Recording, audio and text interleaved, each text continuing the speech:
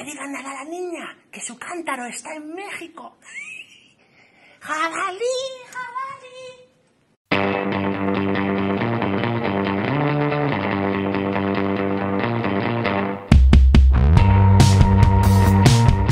Maribel Carrasco es una dramaturga mexicana reconocida internacionalmente. En 2023 recibió el Premio Nacional de Dramaturgia Juan Ruiz de Alarcón y ahora, en nuestro país, Puedes atestiguar su talento como escritora al ver la puesta en escena de El Pozo de los Mil Demonios. Bajo la dirección de Cristina de Silveira, esta historia transporta al público a un fascinante mundo de realismo mágico, explorando una trama rica en metáforas, simbolismos y paisajes sensoriales. La riqueza cultural mexicana se hace presente a través de los paisajes rulfianos en blanco y negro con zonas áridas de fondo. La sequía es uno de los temas que predominan en la obra, y a través de la historia se muestran los peligros de vivir en un mundo agotado donde la única manifestación de vida es un demonio, precisamente el demonio de la sequía. Asimismo, la cosmovisión de la trama refleja la cultura mexicana. Jacinta, una niña de 9 años, es la protagonista y la encargada de salvarse a sí misma y al mundo de la escasez del agua mientras descubre su propia identidad. Con ayuda de su nana y la mujer pájaro, que es una clara representación de un nahual, tomará el valor de enfrentarse a retos inimaginables. A pesar de que esta obra va dirigida sobre todo a infancias, hay varias partes a lo largo de la trama en donde se tocan temas profundos como la memoria histórica y la naturaleza. Además, con la increíble escenografía y el humor de los diálogos, tanto pequeños como grandes quedan encantados. El Pozo de los Mil Demonios tiene funciones en el Teatro Helénico todos los fines de semana hasta el 5 de mayo a las 13 horas. Puedes adquirir tus boletos directo en taquilla o a través de internet.